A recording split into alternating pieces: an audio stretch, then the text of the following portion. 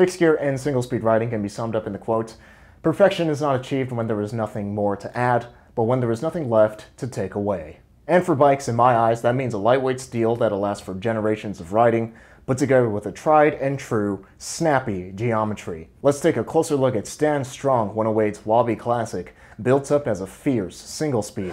I know, I know. Speaking of Wabi Cycles, this video is sponsored by them. Feel free to check them out, linked in the description. To avoid spending too much time in this bike check gushing about why I love Wabi Cycles so much, I'll keep this brief. Wabi's mission is simple, as their formation was born from the Japanese tradition of finding perfection in simplicity and their mission is to bring you the most fun you'll have on a bike.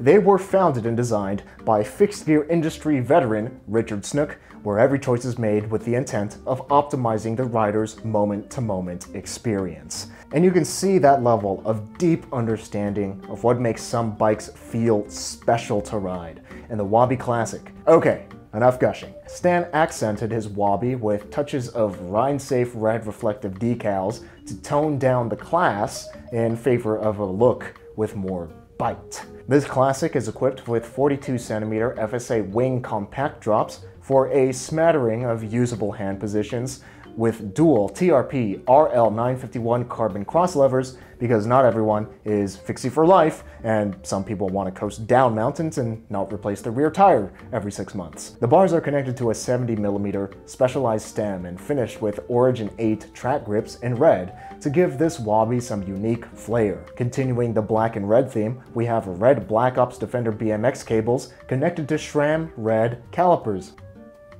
see what you did there. A red Exu7Embers cup holder, that's a mouthful to say, that can also comfortably hold burritos, by the way, and a red CamelBak sports bottle for all you fans of water out there, and even a red top cap bolt. Details matter, folks. The saddle is a no-nonsense, stock specialized, perched atop a red anodized Miche Supertype seat post.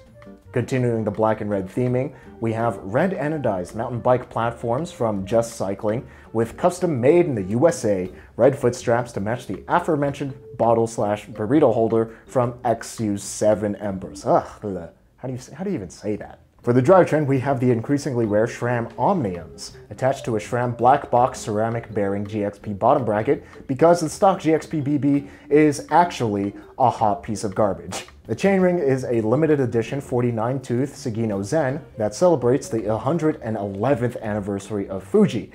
Presumably Fuji bikes and not the mountain. And the rear is a matching red-white Industries freewheeling 17-tooth because some would argue that riding down mountains is supposed to be more fun than riding up them. But not me, of course.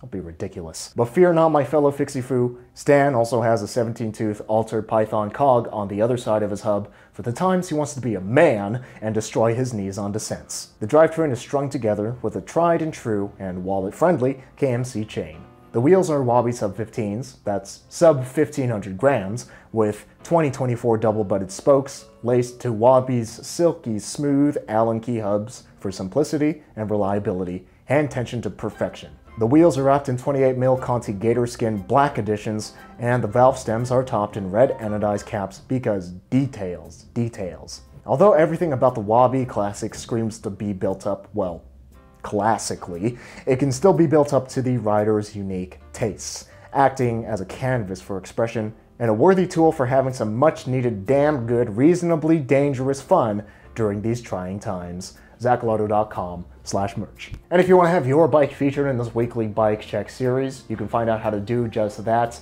in the instructions pinned in the top comment below the like button. And Fixie famous shouts to Stan Strong 108, the owner of this bike, Ryan Witt, Julian Corona, Eric Avallo, Gio DeZeta, and Crooks for helping to make these Fix Gear videos possible through your support on Patreon.